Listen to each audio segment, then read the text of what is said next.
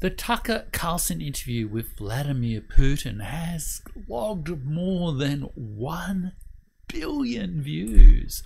You could say this is the most watched history lesson in world history.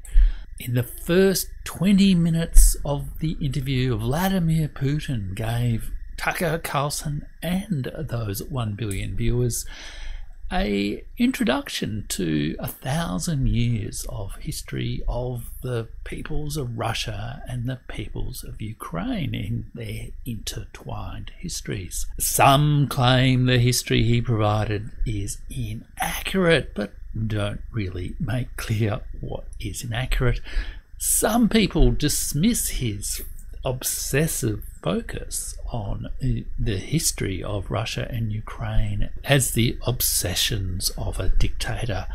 I don't think either of those things are true, uh, but I think a lot of viewers would have found it, it a little bit hard to follow the history of this period dating back to the 800s and may not have really understood why Vladimir Putin would be talking about this story. It all comes down to, I guess, the origin myths, the origin stories of Russia and Ukraine. And that relates to a period of history known as the period of Kievan Rus.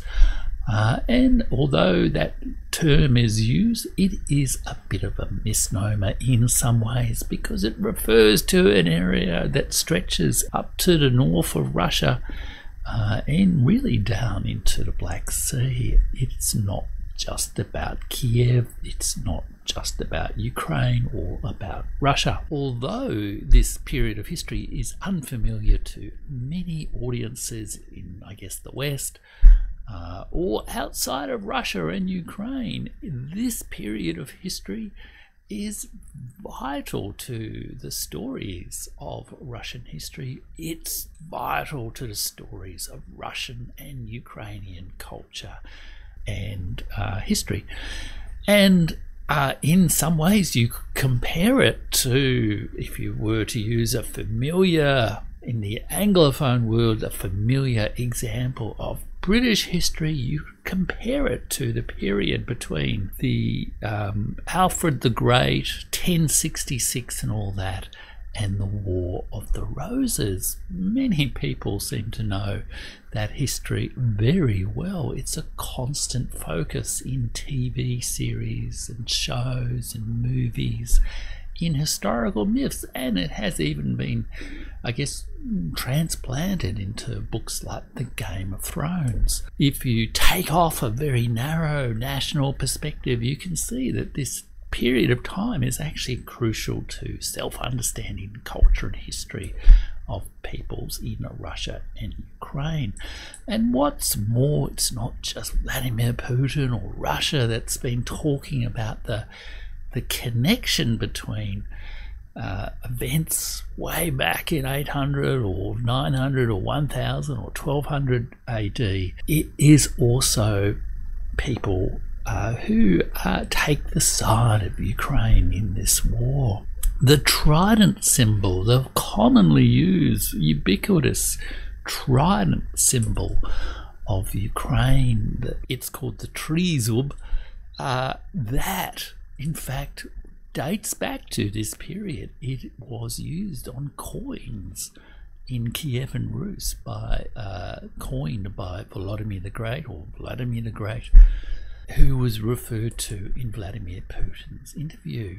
The idea in books like by Serhii Plokhy that Ukraine is the gates of Europe, uh, in contrast to the Russian more sort of Eurasian culture is again is pivots around this story and the fall of Kiev to the Mongols in the in 1240. And what's more, the major historians who are commonly quoted in uh, talking about Ukraine will often refer to this period too as the beginnings of an independent Ukraine. Almost, almost that uh, in, in, a way Russia sort of took over the culture of Kievan Ukraine uh, and adopted it for its own.